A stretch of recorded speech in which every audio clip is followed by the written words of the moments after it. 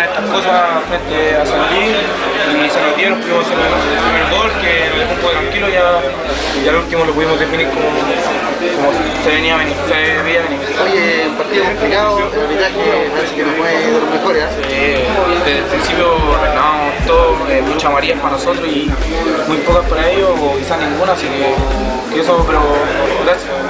El árbitro fue malo y igual pudimos sacar el partido adelante y lo ganamos, estamos arriba. ¿Cómo parecer de estar tomando tu, tu rumbo ya más? Estaba, estaba un poco amoneado por lo, por lo que había bajado el rendimiento, pero eh, los profes nuevamente me dieron confianza, aunque fueron 30 minutos y lo intenté aprovechar, así que de una pelota le reventé, salió un pase gol y intenté llegar al, a la evolución, pero, pero César ya tenía, tenía el ángulo visto y ya hizo el gol, así que feliz que ganamos y sobre todo que jugué.